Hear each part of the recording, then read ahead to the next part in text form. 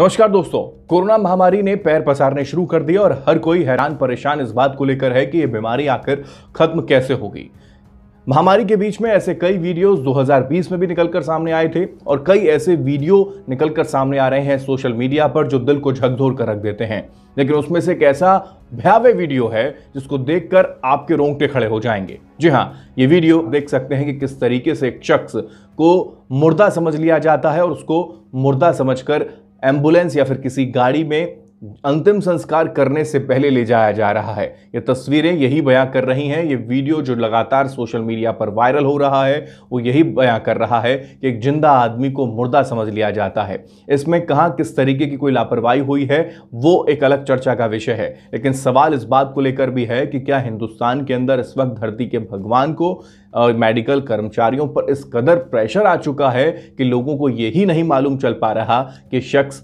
ज़िंदा है या फिर मुर्दा है। किसको पैक किया जा रहा है वो शख्स जो साँसें भर रहा है, लेकिन उसको पैक कर दिया जाता है। जैसे ये मालूम चलता है तो खुद ड्राइवर बाहर आता है और उसके बाद उसको चेक करता है। चैन जब खोली जाती है तो आप देख सकते हैं कि किस तरीके से वो साँसें भर रहा होता है। तब जाकर ये मालूम चलता है कि ये शख्स मरा नहीं है, बल्कि ज़िंदा है। सोशल मीडिया पर फ़िलहाल ये पूरा वीडियो वायरल हो रहा है। आप इसको किस तरीके से देखते हैं?